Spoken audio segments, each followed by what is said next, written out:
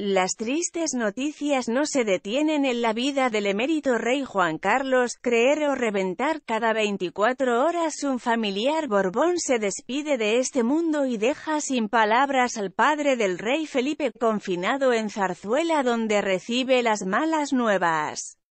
Este lunes llegaba la noticia del fallecimiento de la princesa Diana de Borbón, prima del rey Felipe. El martes se conocía la partida abrupta de la joven María, de apenas 31 años, víctima de una trombosis. Los trágicos sucesos de los familiares del rey Juan Carlos no se han detenido. Si algo le faltaba a la semana del rey Juan Carlos fue la partida del joven Alex Lecchio, sobrino nieto de la familia Borbón y muy querido por toda España desde que llegó al mundo. Luego de batallar contra una cruel enfermedad diagnosticada tempranamente, hoy su partida conmueve al país.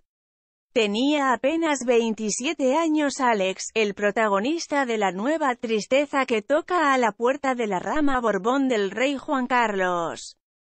Tal como consigna Vanity Fair, se trataba de un joven responsable, buen estudiante, emprendedor y simpático. Alex, heredero de una altura de casi dos metros como buen Borbón, el rey Juan Carlos y el rey Felipe son altísimos, fue un niño famoso desde que llegó al mundo, nació de un romance de su madre con Alessandro Lecchio, quien por entonces era pareja de Antonia Delate.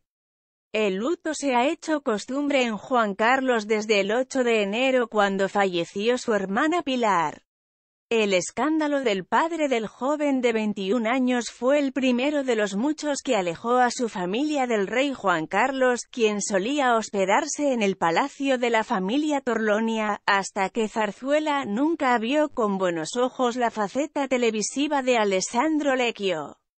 Lecchio es heredero de Borbón y Battenberg. La primera tragedia que sufrió fue la pérdida de su padre, quien cayó desde una ventana de su hogar a los 45 años. La madre de Lecchio, por su parte, era prima hermana del rey Juan Carlos.